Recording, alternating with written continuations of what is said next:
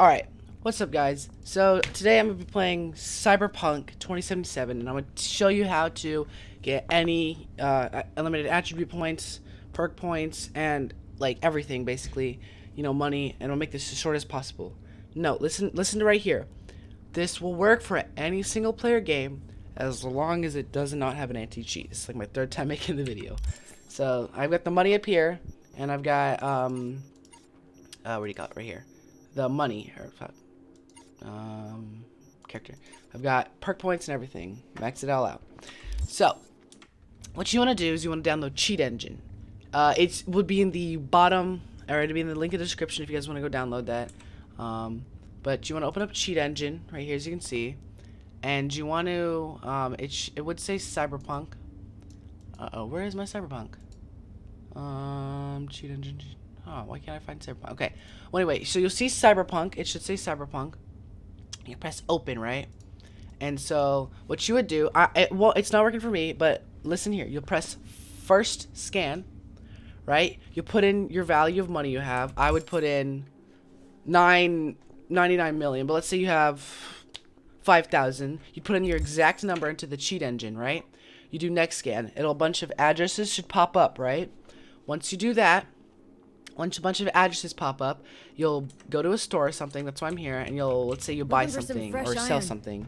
So Look what you no do, further. I've got you covered. What you do is like, let's say I wanted to sell um these pistols.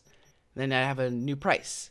So what you do is you put that new price in, do next scan. Uh, only one to three addresses pop up. If more, it may be okay, just not more than ten. You'll highlight hey, it. Snap out of it. When you highlight it, you right click. There's an area over here. Change value of selected address. Right here.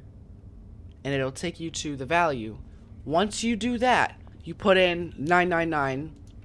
And then go in, buy something, and it should be there. Okay? Now, I'm going to teach you how to do it with, um, how to do it with, um, perk points.